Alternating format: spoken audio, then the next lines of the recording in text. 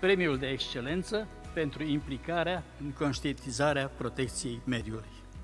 Revine doamnei Ioana Petrescu.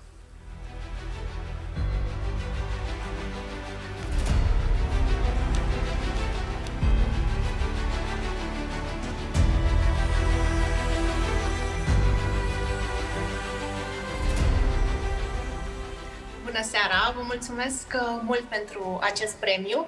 Uh, îl consider, de fapt, un uh, vot de încredere pentru activitatea mea viitoare din noul proiect Pur și simplu Verde.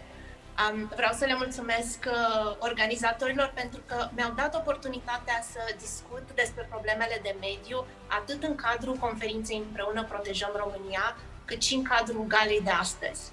Felicitări Media 1 și INSE pentru această inițiativă, împreună Protejăm România, care ne-a dat oportunitatea nouă celor uh, reprezentanților din uh, societatea civilă să venim cu soluții în fața uh, unor lideri importanți din guvern, din parlament, mediul de afaceri, mediul universitar. Um, astfel de evenimente în care cât mai mulți uh, experți din domenii diferite vin cu modele de bune practici și idei de depășire a crizelor pe care le traversăm, um, sunt uh, cu siguranță binevenite. Acum, revenind la tema evenimentului aceea de a proteja cât mai bine România, trebuie să fim conștienți că la finalul acestei crize sanitare nimic nu va mai fi ca înainte. Vor reuși să depășească um, cu bine această cumpănă statele care vor înțelege că trebuie să acționeze pentru a proteja mediul înconjurător.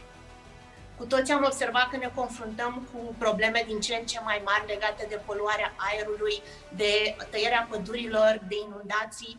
Efectele activității umane uh, asupra mediului devin din ce în ce mai vizibile și ne afectează veniturile, ne afectează sănătatea și calitatea vieții. Ne dăm seama că nu mai putem continua așa și că avem nevoie să facem niște schimbări pentru a fi siguri că și copiii noștri pot uh, locui într-o Românie verde și curată. Cu toții vrem să reducem poluarea, vrem să respirăm un aer mai curat și vrem ca pădurile noastre să crească iar.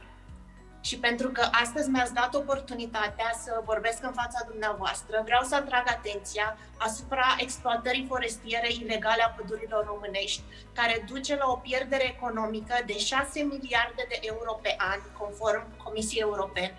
Această activitate are multe efecte nocive. Printre ele se numără pierderea biodiversității, eliminarea unui mijloc natural de captare a dioxidului de carbon, creșterea riscului de inundații, de deșertificare și de alunecări de teren.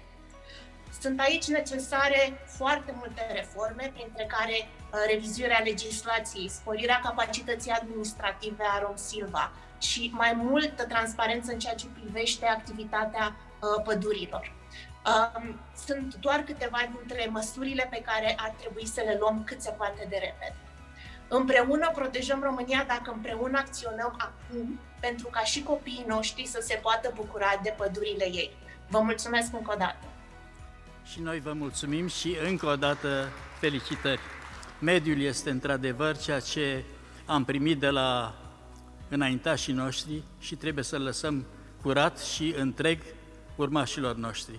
Este un angajament pe care, ca români și ca oameni acestei planete, trebuie să ni-l asumăm și să-l ducem la împlinire. Încă o dată mulțumiri și felicitări!